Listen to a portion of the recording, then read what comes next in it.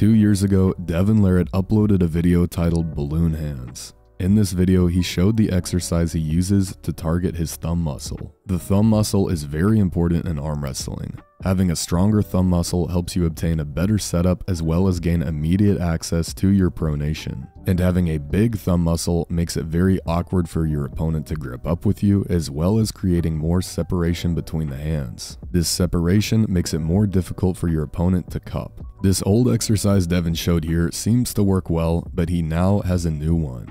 In some of the recent training footage with Devon and Leonidas, we see Devon taking him through a workout. And partway through, we see a glimpse of this exercise right here. We see what looks like a very weak rubber band from a high angle wrapped around the thumb. The reason this is interesting to me is that both John Brzenk and Neil Pickup have pulled with Devon fairly recently as well as in the past, and they said that Devon's thumb has significantly grown since the last time they gripped up. And I'm wondering if this exercise right here is the primary reason for that.